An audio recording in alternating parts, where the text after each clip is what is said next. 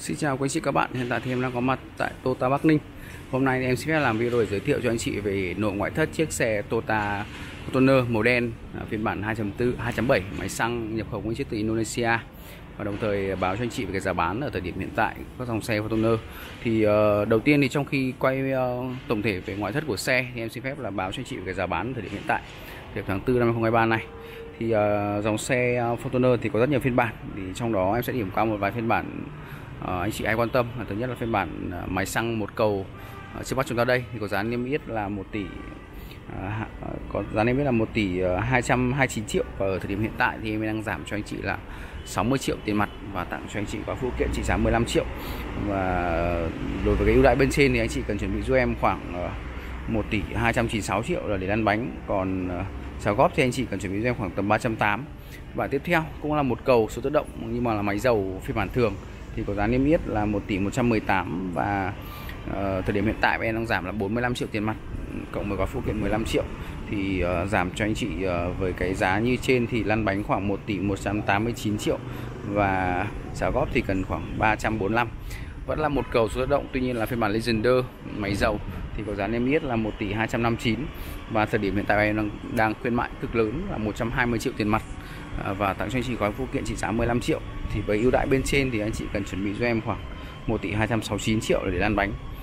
À, còn trả góp thì khoảng ờ, uh, 373 còn ngoài ra thì phiên bản cuối cùng phiên bản cao cấp nhất phiên bản hai cầu máy dầu số tự động thì có giá niêm yết là 1 tỷ 470 và cũng đang giảm 120 triệu. Ờ, và lăn bánh sẽ rơi khoảng tầm tỷ rưỡi. Trả góp anh chị ở chúng mình khoảng tầm 440 là trả góp được rồi. Thì vừa rồi thì em đã đi một vòng xung quanh nội thất cũng như là báo cho anh chị về cái giá bán của dòng xe Fortuner phiên bản ờ, 2023, 2023 ờ, này. Thì em sẽ điểm qua một chút về cái nội ngoại thất của xe như sau. Đầu tiên là phần đầu xe.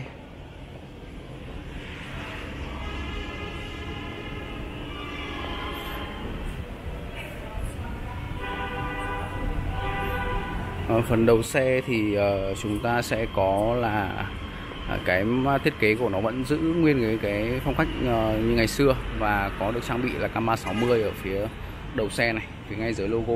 Và được trang bị là đèn full led, đèn pha cốt trùng bóng, cái móng projector này. Và ngoài ra thì cũng được trang bị là đèn xi nhan, đèn ban ngày, cũng như là cái đèn sương mù ở dạng led ngoài ra thì ở phần ờ, thân xe thì sẽ được trang bị là cái la răng là răng màu xám khói, có cái trang bị lốp.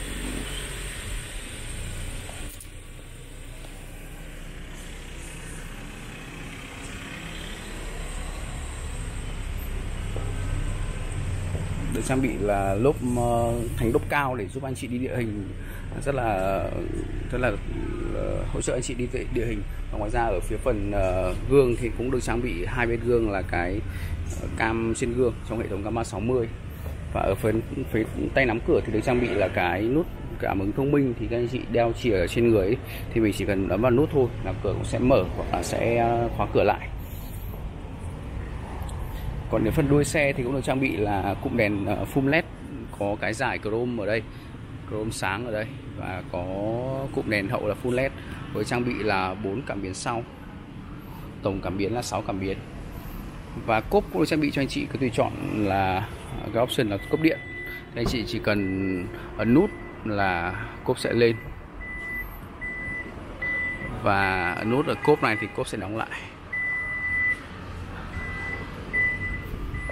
Ngoài sẽ vào phần nội thất của xe để anh chị xem thì xe này trang bị là nội thất uh, trang bị da màu đen và uh, tông màu chủ yếu là màu đen. Um, khâu với cả chỉ màu uh, ghi và bọc vô lăng là gỗ.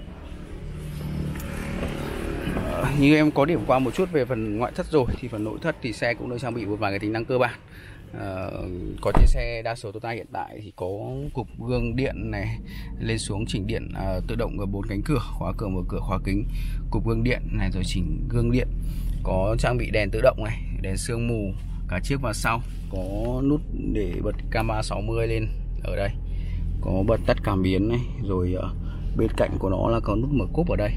Ngoài ra thì trên vô lăng cũng có một vài cái tính năng rất là hay là như là có cái lẫy chuyển số sau vô lăng, có các cái nút để điều chỉnh màn hình đa thông tin cũng như điều chỉnh cái màn hình giải trí, có cruise control ờ, rồi để nổ nút bấm, có cái màn hình ờ, rất là lớn này, thì có Apple trang bị luôn là Apple CarPlay và Android Auto. À, ngoài ra thì điều hòa được trang bị là điều hòa hai vùng tự động.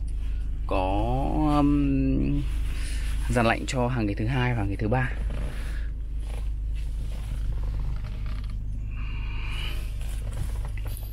Vâng và vừa rồi thì đã quay cho anh chị về nội ngoại thất chiếc xe Toyota Fortuner phiên bản máy à, xăng một cầu số tự động này 2.7 thì anh chị nào cần em tư vấn thêm về các vấn đề về xe, về trả góp hay các phiên bản khác thì có thể liên hệ giúp em qua hotline của chị Văn Đình em sẽ chị những video tiếp theo. Thì chào và hẹn gặp lại.